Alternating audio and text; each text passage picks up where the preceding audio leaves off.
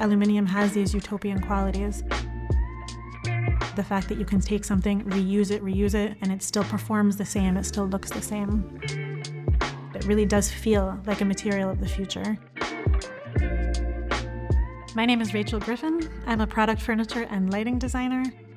We're here at the Material Matters exhibition at the London Design Festival, where Hydro is showing the work of different designers all of the products in this exhibition are produced using Hydro Circal 100R.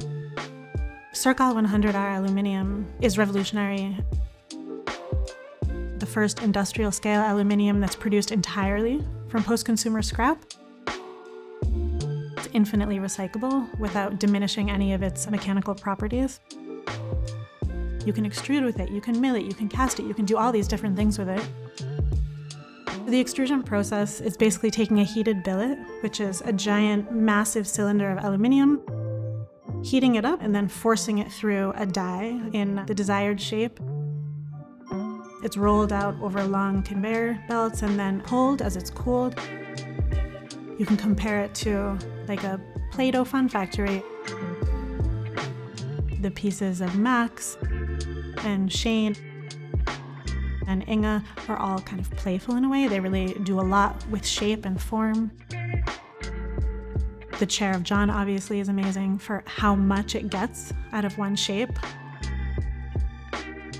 The shelves of Philippe are very interesting in the way that they play with this sort of common fixture. Already exists in the world, but he's sort of shaped that into a more robust piece. The coat rack from Andreas is really amazing also for the way that it takes these two different profiles and creates a really sort of gravity-based fixture. The product that I created for the exhibition is called Serial. A partition or room divider, it's made up of one single extrusion profile, which is just repeated over and over again. The design of the profile has an interlocking hinge. What that means is that the parts can be interlocked together, basically forever, to make partitions or screens as long as you want. Once all of those pieces are strung together in a chain, they can be arranged in these sort of organic waves which are self-supporting. And they use the reflective qualities of the aluminium to best advantage.